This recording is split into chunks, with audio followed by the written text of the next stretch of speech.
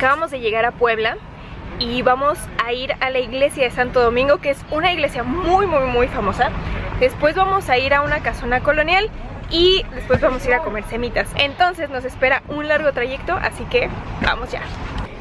No puedo creerlo. Está muy cañón.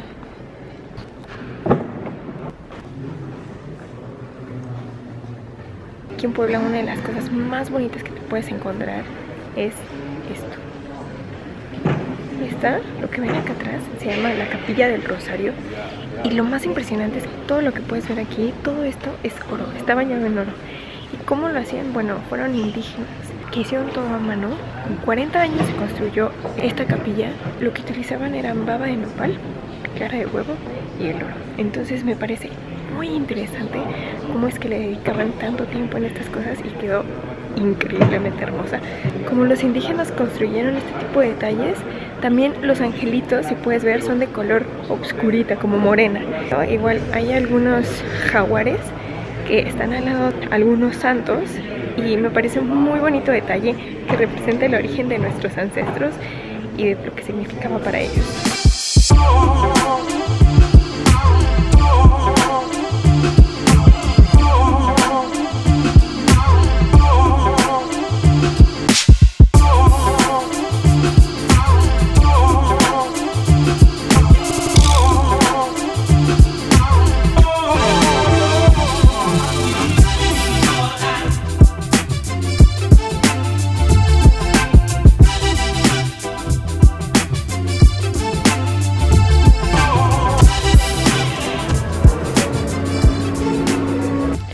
Pues ya llegamos a la casa que les había comentado y esto es una mezcla entre es un restaurante, un museo, un bar de tapas, una cafetería, tiene muchísimas cosas. Dice la historia, cuando llegaron los españoles pues llegaron y empezaron a construir cosas encima de lo que ya existía. Ahora podemos ver todos los restos aquí en este museo de las personas que vivieron y qué es lo que hacían.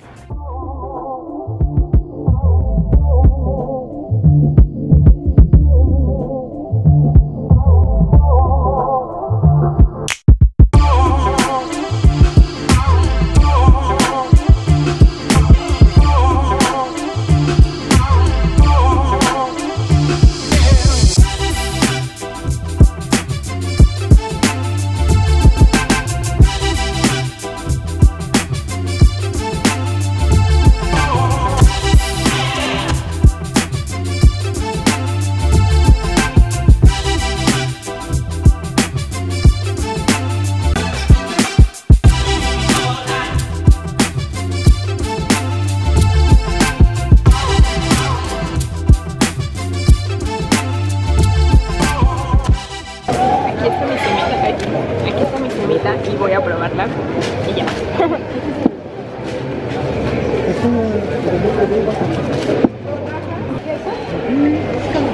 Muy ricas, muy ricas, son unos clientes así de, De- de- casi cada ocho de días. siempre.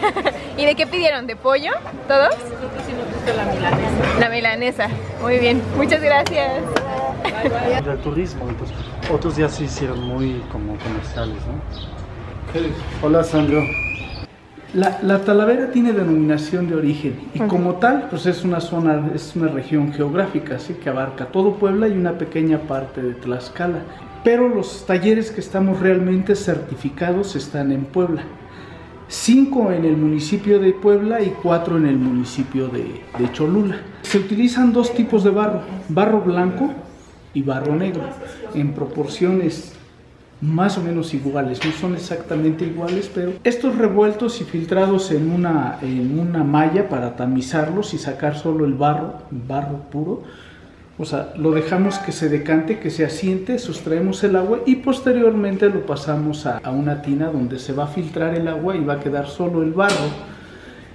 Ese barro, o sea, se tiene que pisar y posteriormente amasar. A ese amasamiento y a esas placas, pacas que, sacamos del barro le llamamos tallas o pellas. Se embolsan, se notifican, se le pone fecha y todo y se amarran y posteriormente pasan al proceso de producción, ya sea en, en molde o en torno. Y de ahí, bueno, ya una vez este, formada la pieza se deja secar, mm, promedio de secado Puede variar dependiendo del tamaño de la pieza.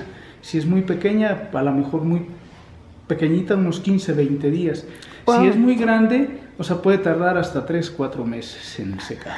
Depende mucho.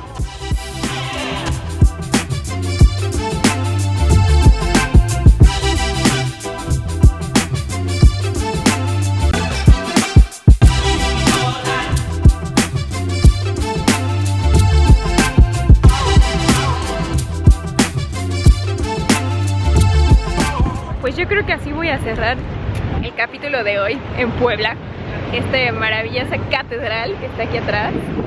Y pues bueno, fue un recorrido bastante interesante.